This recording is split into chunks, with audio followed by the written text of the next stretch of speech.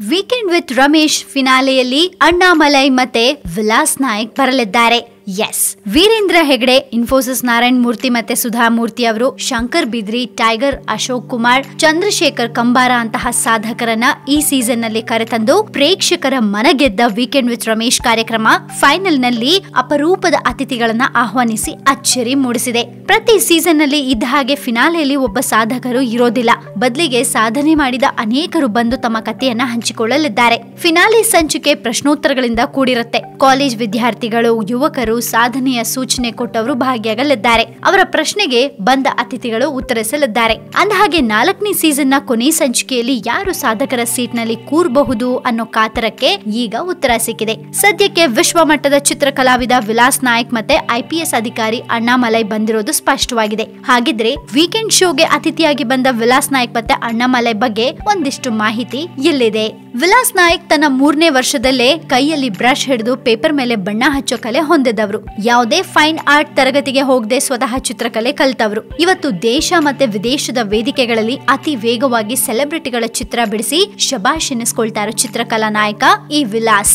ಅಷ್ಟಕ್ಕೂ ವಿಲಾಸ್ ಹಿನ್ನೆಲೆ ಏನು ಅಂತ ತಿಳ್ಕೊಳ್ಳೇಬೇಕು. ದಕ್ಷಿಣ ಕನ್ನಡ ಜಿಲ್ಲೆಯ ಉಜಿರೆ ಮೂಲದ ವಿಲಾಸ್ ನಾಯಕ್ ಮಂಗಳೂರು ವಿಶ್ವವಿದ್ಯಾಲಯದಲ್ಲಿ ಬಿಎ ಪದವಿಯಲ್ಲಿ ಏಳನೇ ರ್ಯಾಂಕ್ ಅನ್ನ ಪಡೆದಿದ್ದಾರೆ. ಮೈಸೂರು ವಿವಿಯಲ್ಲಿ ಎಂಎಸ್ಡಬ್ಲ್ಯೂ ಮಾಡಿ ಎರಡನೇ ರ್ಯಾಂಕ್ ಅನ್ನ ಪಡೆದಿದ್ದಾರೆ. ನಂತರ ಐಬಿಎಂ ನಲ್ಲಿ ನಾಲ್ಕೈದು ವರ್ಷ ಎಚ್ ಆರ್ ವಿಭಾಗದಲ್ಲಿ ಕೆಲಸ ಮಾಡಿದ ಇವರು ತನ್ನ ಕೆಲಸ ಬಿಟ್ಟು ಸಂಪೂರ್ಣವಾಗಿ ಕಲಾವಿದನಾಗಿ ಗುರುತಿಸಿಕೊಂಡ್ರು. ಅಲ್ಲಿಂದ ನಾನಾ ದೇಶಗಳಲ್ಲಿ, ನಾನಾ ಕಾರ್ಯಕ್ರಮಗಳಲ್ಲಿ, ಹಲವು ಟಿವಿ ಶೋಗಳಲ್ಲಿ ತಮ್ಮ ಕಲೆಯನ್ನ ಪ್ರದರ್ಶಿಸಿದ್ದಾರೆ. ಸಾಮಾನ್ಯವಾಗಿ ಯಾರದ್ದೇ ಚಿತ್ರ ಬರೆಯೋಕೆ ಹೋದ್ರು ದಿನ ಇಡೀ ಕೂತು ತಲೆ ಕೆಡಿಸ್ಕೋತಾರೆ. ಆದ್ರೆ ವಿಲಾಸ್ ನಾಯಕ್ ಕೇವಲ ಎರಡ್ ಮೂರು ನಿಮಿಷದಲ್ಲಿ ದಿಗ್ಗಜರ ಚಿತ್ರವನ್ನ ಬಿಡಿಸ್ತಾರೆ. ಕನ್ನಡ, ಹಿಂದಿ, ತೆಲುಗು, ತಮಿಳು, ಬೆಂಗಾಳಿ, ಗುಜರಾತಿ ಹಾಗೆ ಇಂಗ್ಲಿಷ್ನ ಏಕ್ಸೆನ್ ಚಾನೆಲ್ ನಲ್ಲೂ ನಡೆದಿರುವಂತಹ ಕಾರ್ಯಕ್ರಮಗಳಲ್ಲಿ ಪ್ರದರ್ಶನ ಕೊಟ್ಟಿದ್ದಾರೆ. ವಿಶ್ವದ ಅತಿ ವೇಗದ ವರ್ಣಚಿತ್ರಕಾರ ಅನ್ನೋ ಹೆಗ್ಗಳಿಕೆಗೂ ಕೂಡ ಪಾತ್ರರಾಗಿದ್ದಾರೆ. ಭಾರತದ ಮಾಜಿ ರಾಷ್ಟ್ರಪತಿ ಅಬ್ದುಲ್ ಕಲಾಂ, ಕ್ರಿಕೆಟ್ ದೇವರು ಸಚಿನ್ ತೆಂಡೂಲ್ಕರ್, ಫುಟ್ಬಾಲ್ ದಂತಕತೆ ಪೀಲೆ, ಶಾರುಖ್ ಖಾನ್ ಸೇರಿದಂತೆ ಅನೇಕ ಸೆಲೆಬ್ರಿಟಿ ದಿಗ್ಗಜರ ಸಮ್ಮುಖದಲ್ಲಿ ಚಿತ್ರ ಬಿಡಿಸಿ ಅವರಿಗೆ ಉಡುಗೊರೆಯಾಗಿ ಕೊಟ್ಟಿದ್ದಾರೆ.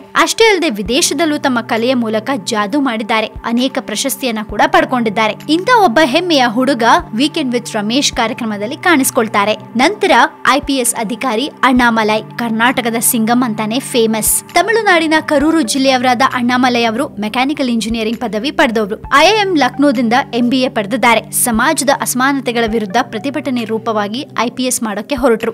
ಎರಡ್ ಸಾವಿರದ ಹನ್ನೊಂದರ ಐಪಿಎಸ್ ಬ್ಯಾಚ್ ನವರಾದ ಅಣ್ಣಾಮಲೈ ಎರಡ್ ಸಾವಿರದ ಹದಿಮೂರರಲ್ಲಿ ಕಾರ್ಕಳದ ಎಸ್ಪಿ ಆಗಿ ನೇಮಕಗೊಂಡ್ರು. ನಂತರ ಚಿಕ್ಕಮಗಳೂರು ಎಸ್ಪಿ ಬೆಂಗಳೂರು ದಕ್ಷಿಣ ಡಿಸಿಪಿ ಆದ್ರು. ಭ್ರಷ್ಟಾಚಾರ ಮುಕ್ತ ಅಧಿಕಾರಿ ಅನ್ನಿಸ್ಕೊಂಡಿದ್ದಾರೆ ಕರ್ನಾಟಕದ ಸಿಂಗಂ ಅಂತಾನೆ ಹೆಸರು ಮಾಡಿದ್ದಾರೆ.